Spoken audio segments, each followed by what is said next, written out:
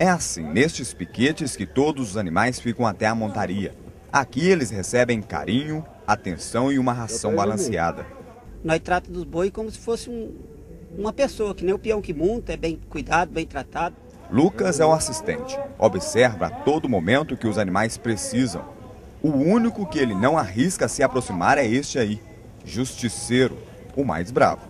Que ele é um touro muito perigoso, a gente não pode marcar com ele, não. Se, pega, se marca ele, pega mesmo e machuca a gente. Para fazer parte da competição de touros da Professional Bull Riders, todos são catalogados, recebem melhoramento genético à base de vitaminas. Alguns chegam a custar 100 mil reais. Agora com a vinda da ABBI, que é a American Bucking Bull Incorporation, para o Brasil, que cuida de catalogar os melhores touros uh, e cruzar fazer uma genética de touros de pulo. Também os profissionais envolvidos. Os touros, cavalos fazem parte do espetáculo, que hoje é considerado um esporte radical e praticado no mundo inteiro. Mas o desafio destes peões vão além de estarem em cima de um animal por 8 segundos, mas sim ser o melhor do Professional Bull Rider do Brasil, podendo participar de um campeonato mundial em Las Vegas, com direito a 3 milhões e 200 mil dólares.